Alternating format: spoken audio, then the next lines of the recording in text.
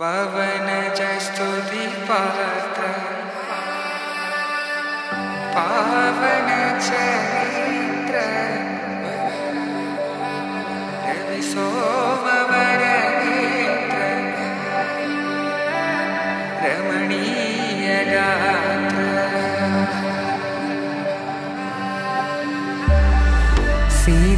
सीतकल्या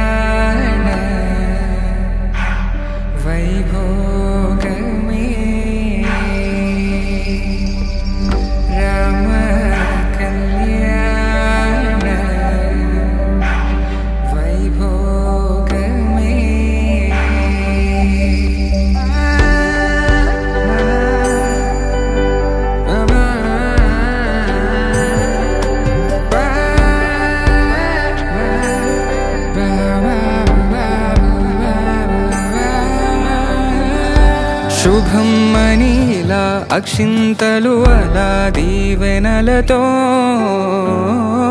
అటు ఇటు జనం హడావిడితనం తుళ్ళింతల ఈ పెళ్లిలోగిల్లలో పదందని బంధువుల కట్టై